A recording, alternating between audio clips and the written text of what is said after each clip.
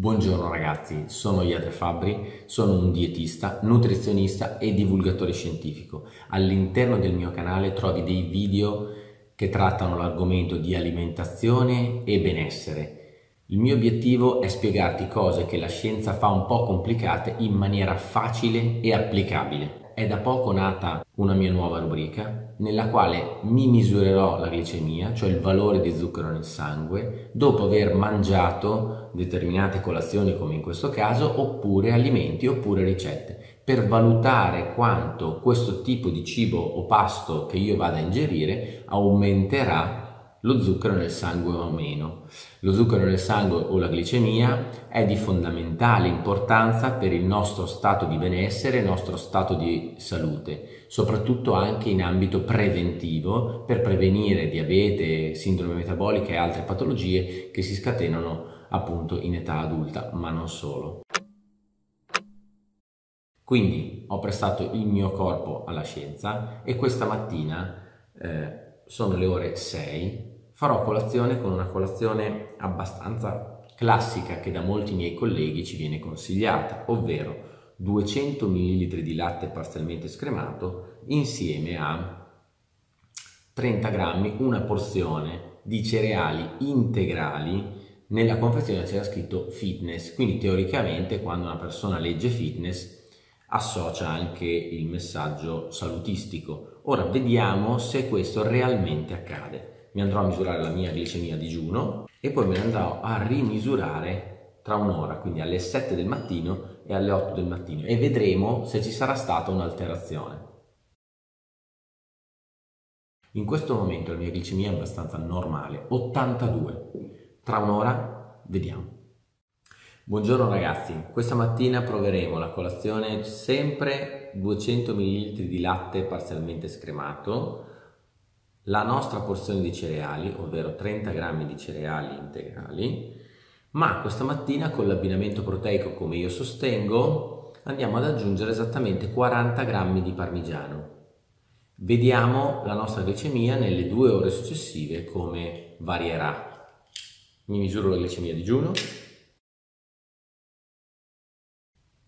Sono le 6.10, vediamo tra un'ora e tra due ore.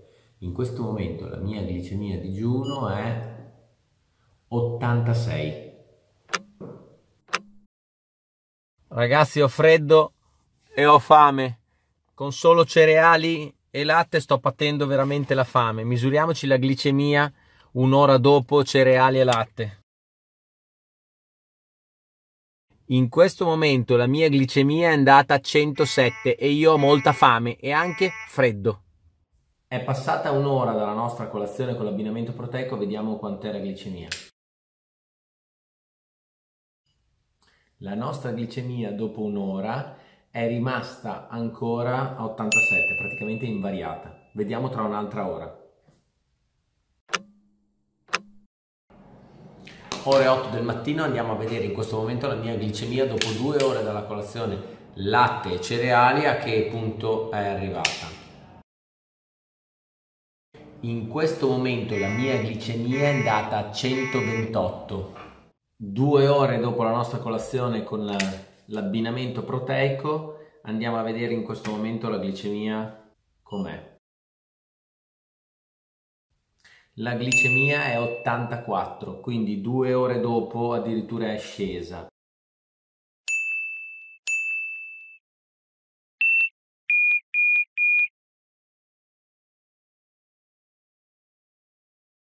Ottantasei, ottantasette, ottantaquattro significa che la nostra glicemia è rimasta costante nelle due ore successive dal nostro pasto rispetto alla glicemia digiuno, con il semplice abbinamento di una fonte proteica, in questo caso del parmigiano.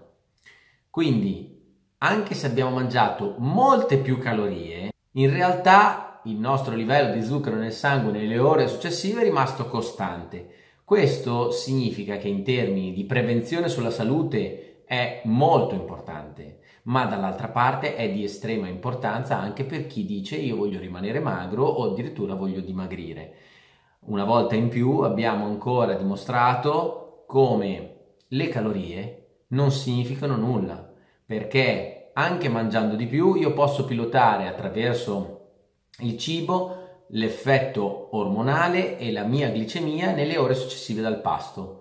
Cosa che facendo invece il pasto solo con cereali e latte è vero che ho mangiato meno e vi dico anche che quando ieri ho fatto la prova con cereali e latte ho fatto molta fatica ad arrivare al passo successivo e devo dire che anche la mia giornata è stata più difficile e avevo più bisogno di zuccheri, proprio perché avevo creato un brusco aumento degli zuccheri nel sangue, l'insulina per troppo zucchero nel sangue deve entrare in circolo, prende, porta via tutto e a quel punto rimarrò senza zucchero nel sangue. A quel punto il mio cervello richiederà zuccheri e io andrò a mangiare di nuovo carboidrati che possono alterarmi la glicemia e innescherò questo circolo vizioso per tutto il giorno, ritrovandomi ad avere una dipendenza sempre più forte da determinati cibi che danno appunto un aumento di zuccheri nel sangue. Questo poi porterà a malattie come il diabete, ma indipendentemente dalle malattie,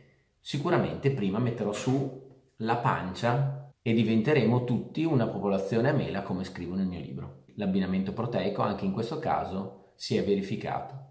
A questo punto ci vediamo al prossimo esperimento. Condividetelo con i vostri amici, commentatemelo, suggeritemi altri tipi di esperimenti. Sono a disposizione, il mio corpo è a disposizione per la scienza e per voi. Se vi è piaciuto fate tre semplici cose. Iscrivetevi al mio canale YouTube e attivate le notifiche con la campanella così sarete avvisati quando uscirà un mio nuovo video. Seguitemi sulla mia pagina Facebook e sul mio profilo Instagram e in ultimo seguite il mio sito internet dove lì pubblico le conferenze o gli incontri o le presentazioni del libro che faccio in giro per tutta l'Italia. Ciao e rimaniamo in contatto. Posso dire una cosa? Con tutte queste misurazioni della glicemia ho i polpastrelli massacrati.